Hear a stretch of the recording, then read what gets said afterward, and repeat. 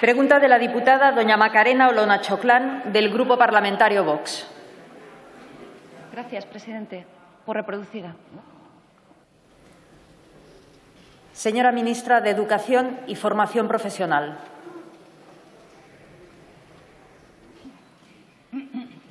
Sí, perdón, perdón. Eh, mire, señora, señora Olona, efectivamente es necesaria, muy necesaria. Y le voy a decir por qué. Porque sitúa la equidad en el centro del sistema. Esta es una cuestión absolutamente esencial. Pensamos en la equidad no en términos exclusivos de acceso universal a la educación, sino de su conclusión con éxito. Por eso es necesaria.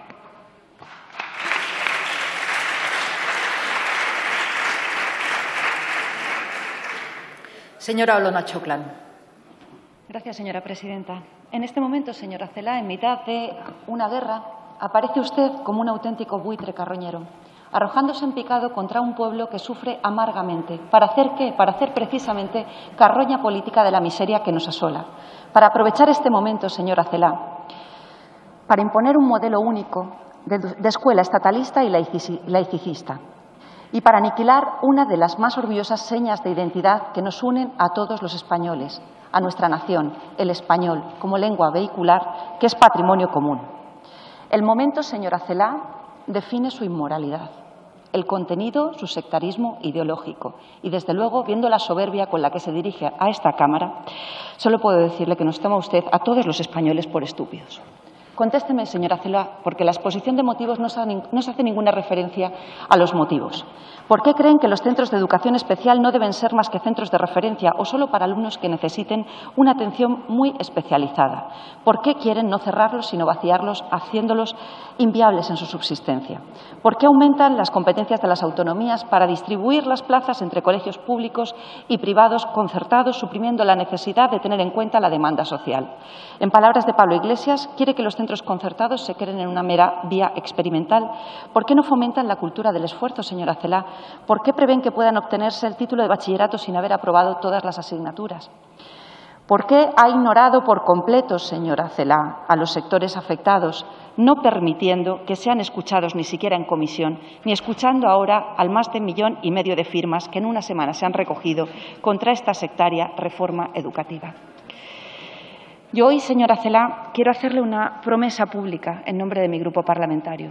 Esta reforma educativa no va a ser su legado porque ustedes la van a aprobar, gozan de la mayoría parlamentaria necesaria, pero Vox va a recurrirla ante el Tribunal Constitucional. Y lo que puedo asegurarle, señora Celá, es que nuestras acciones son efectivas. Hoy mismo hemos conocido, y me dirijo a la bancada Bildu Etarra, que la Fiscalía del Tribunal Supremo apoya la petición de Vox para que se repita el juicio contra el terrorista Otegui, que fue anulado en ejecución de la sentencia de Estrasburgo. Dignidad, no odio. La dignidad que ha perdido el Partido Socialista, cerrando unos presupuestos con el sello de ETA.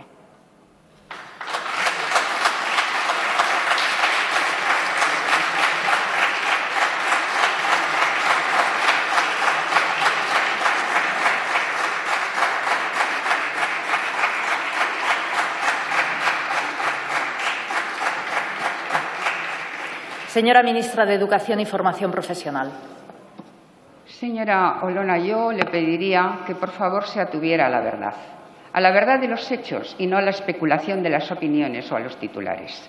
Si usted ha leído la ley, si usted ha leído la ley, usted habrá observado que no solamente se garantiza y se consagra la libertad de enseñanza, sino también la libertad de elección de las familias, con una programación comprensiva en la cual la prestación del servicio público se realiza a través de los centros públicos y de los centros privados concertados. Se garantiza, por lo tanto, la libertad de las familias para elegir centro educativo conforme a, sus convicciones religiosas o morales, tal y como indica la Constitución, artículo 27.